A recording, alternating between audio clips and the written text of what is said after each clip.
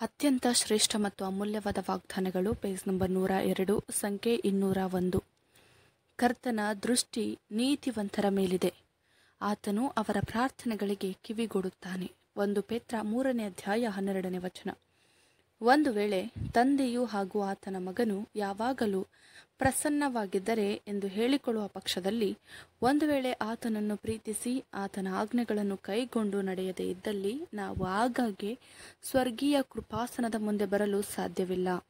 ದೇವರ ಯಾವ ಮಕ್ಕಳು ಆತನಲ್ಲಿಗೆ ಆಗಾಗ್ಗೆ ಬರುವುದಕ್ಕೂ ಹಾಗೂ ಆತನ ಐಕ್ಯತೆ ಹಾಗೂ ಅನೂನ್ಯತೆಯಲ್ಲಿ ಬಹು ಸಮಯ ಕಳೆಯುವುದಕ್ಕೆ ಹಿಂಜರಿಯದಿರಲಿ.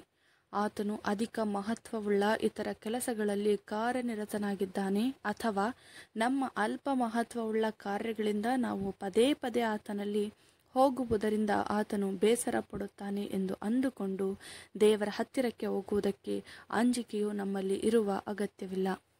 ಆಮೇನ್.